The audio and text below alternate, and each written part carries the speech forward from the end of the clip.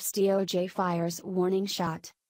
The Justice Department fired back at a fake news report citing the usual anonymous sources who said Attorney General Jeff Sessions discussed sensitive matters with a Russian official during last year's presidential race in spite of his earlier testimony that he did not.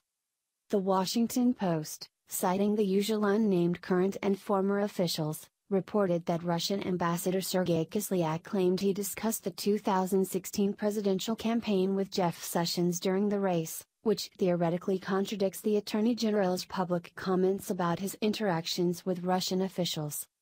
According to the Post, Kislyak told his superiors in Russia that he discussed the presidential campaign and issues of importance to his country with Sessions. The outlet said the ambassador's conversations with his bosses were picked up by U.S. spy agencies. Sessions, who was a senator from Alabama during the presidential race, has faced questions about whether he properly disclosed his past interactions with Kislyak while a lawmaker who was a high profile Trump surrogate, Fox News reports.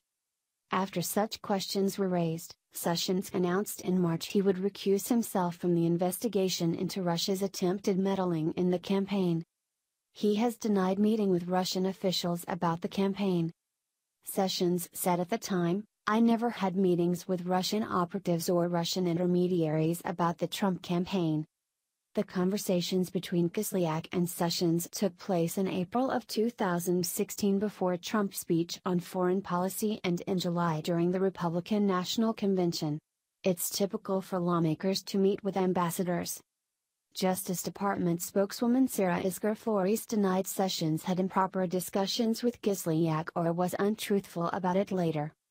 Obviously, I cannot comment on the reliability of what anonymous sources describe in a wholly uncorroborated intelligence intercept that the Washington Post has not seen and that has not been provided to me, but the Attorney General stands by his testimony from just last month before the Senate Intelligence Committee when he specifically addressed this and said that he never met with or had any conversations with any Russians or any foreign officials concerning any type of interference with any campaign or election, Flores said.